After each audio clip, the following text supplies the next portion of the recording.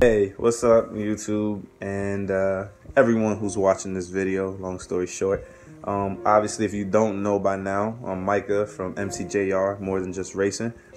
And because um, obviously it's a lifestyle, it's a lot that goes into cars. But today, what we're going to be doing in this video, as the title would already read, is if you have the codes P0327 uh, or P0325, this is the video for you to watch because that is your knockbank sensor um, or your knockbank sensor sub harness. So the knockbank sensor is P0325 and the knockbank sensor's uh, sub harness, which is the wire for it. Yeah, go. Is basically, you know, popping the code for your check engine light, etc. etc. Um, and this is the same thing on uh, the G35s and the 350Zs. Um, you know, basically any Nissan made vehicle, it's gonna be the same thing. So, long story short, um, this is the car. Well, my car, if you've never seen it.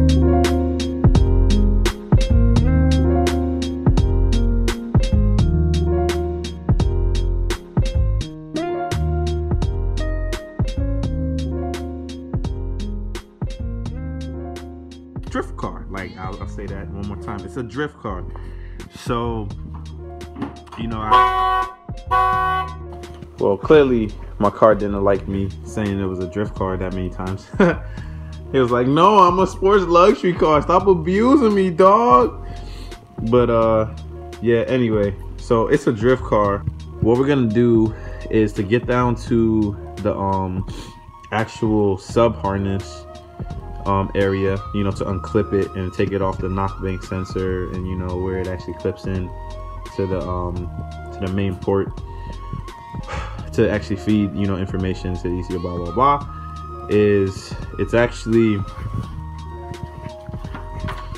a hole that's like directly in the middle of the engine. So you see this middle of the engine just comes straight down, boom, and there's a hole right there and then it runs along there all the way to the back back here. And you'll actually unclip it from down at that um from down at the part. Take it off replace it. Long story short this is bank one. That's bank two for your vehicle. So if bank one's going off, the problem's on this side. If bank two is going off, the problem's. We're gonna go ahead and take all this off and pretty much I'm gonna walk you through how to take it off and then you know stop the video, show you what it looks like when it's actually taken off and you know things of that sort. It's better. So it's a clip there and a clip there. And you just pop both those clips out. Comes out if you just want to be smarter about this, this is what I do. Just take off the MAF, take off that since we're taking this whole thing off, and just unbolt it from the throttle body area. So just unbolt that right there, and just pull this whole entire assembly out. And that's basically what we're gonna do, and I'll show you what it looks like when it is out.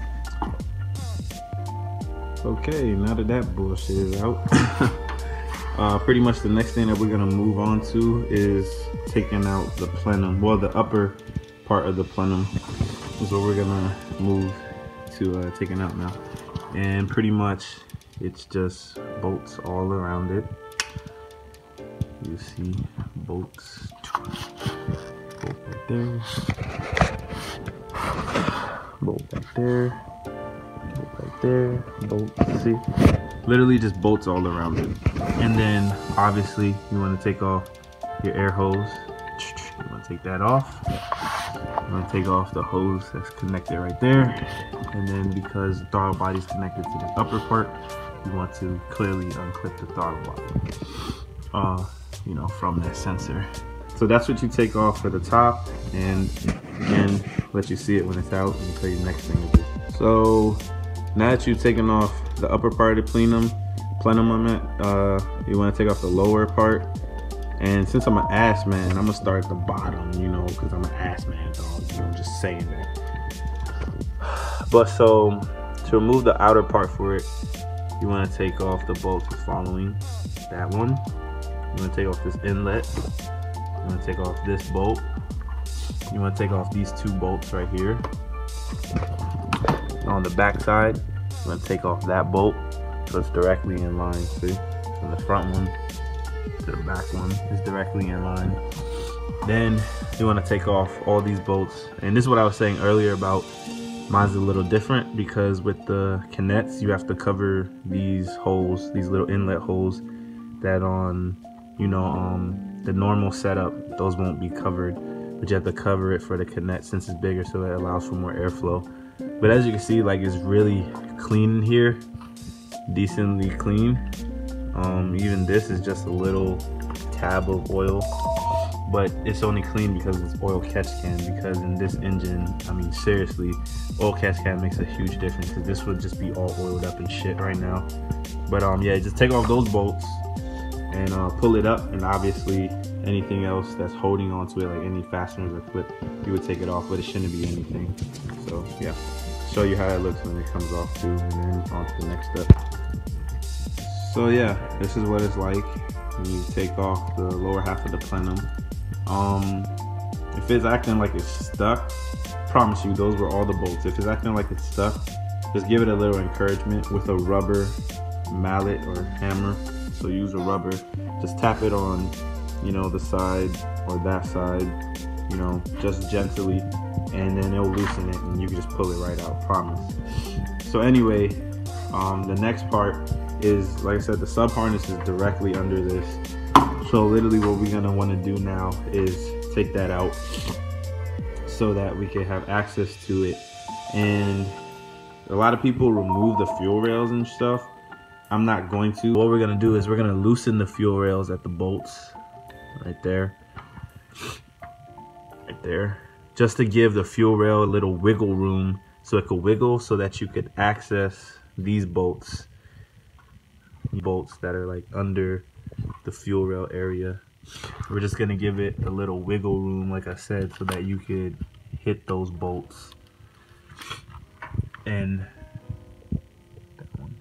so that you can hit those bolts, you know, to loosen them. Because then when you loosen them, you pull the entire thing up and, you know, voila, there you go. Yeah, like I said, those are the bolts. Just loosen them and then hit those bolts and then take it off. And um, that's what I'm about to do. Show you what it's like with it off. And so, like I said, it's just these bolts. You can see right there, that is your knock sensor. And there's the harness that goes onto it. So we're gonna replace that harness. Honestly, I probably should replace the knock sensor because it looks pretty old, but hey, I didn't get the code for that. I only got the code for the knock sensor's harness. So yeah, as you can see, it's really dirty in here. So vacuum all this shit out. And then um, I mean it's pretty straightforward from here. Go ahead and replace um, the line. Just follow the line to where it goes and then after you go to where it goes just replace it. That's it. So now when you're in the back you see that little bolt that I unscrewed down there um, pretty much like I said that's where the sub harness is running to and it's connected by a little connector and you'll pull on the back one. It's kind of hard to explain. When you go to do it, you'll see what I'm talking about. But you you have um your actual connection, which is right there, and there's a little 10 millimeter bolt. You want to unscrew that. So you have the connector there. That's the sub harness is going to your knock sensor. Then you have um, the part that you're actually connected to that's coming through um, your main harness. And uh, basically you just uh, on the main harness it's a piece that you just pull the tab and you pull it back. And then it just comes off. And then like I said that 10 millimeter bolt pull it out and then get the sub harness off place it. This is how it looks and I think it's a really dumb design because this like cups up at the top of the little bolt like I said the little bolt then this and it's just retarded because I'm like the space behind, you could literally, instead of doing that, just have the sub wire go from there, run in the same area, but then be at the top so you could just unclip it. You don't need any of this shit or anything because the same place that is running is the only way that you could run it either way. That's it. Piece of shit. and I'm out. you guys enjoyed the video. In advance, I apologize for um, the wrong scale of the video. It's not, you know, the covering the full um, amount of the player, and that's because I just came from Texas back to Maryland, and I haven't unpacked any of my camera stuff, like any of that. Um, it's just something I had to change and fix, so I just did that and just recorded on my iPhone.